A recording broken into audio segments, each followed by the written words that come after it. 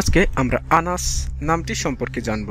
এটি ইসলামী কিনা, এর অর্থ কি, এটি কোন ভাষার শব্দ, সে সম্পর্কে আলোচনা করব। তার আগে একটি হাদিস বলে রাখি, আল্লাহর কাছে সবচেয়ে প্রিয় নাম হচ্ছে আব্দুল্লাহ, অর্থ আল্লাহর বান্দা ও আব্দুর রহমান, অর্থ রহমানের বান্দা, সহি মুসলিম।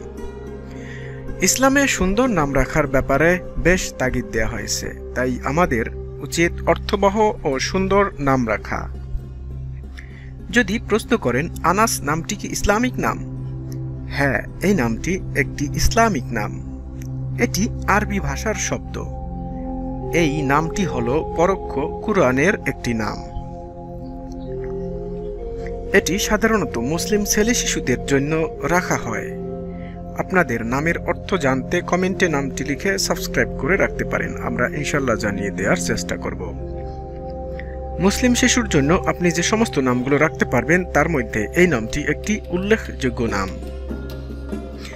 ইসলামী পরিভাষায় যে ব্যক্তির মাধ্যমে মনের মধ্যে শান্তি এবং প্রফুল্লতা বয়ে আসে, সেই ব্যক্তিকে আনাস বলে আখ্যা দেওয়া হয়।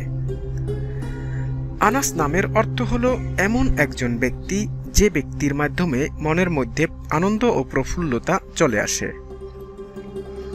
মোহাম্মদ আনাস, আবদুল্লাহ আল আনাস আনাস হোসেন, আয়মান সাদিক আনাস এভাবেও নামটি রাখতে পারেন।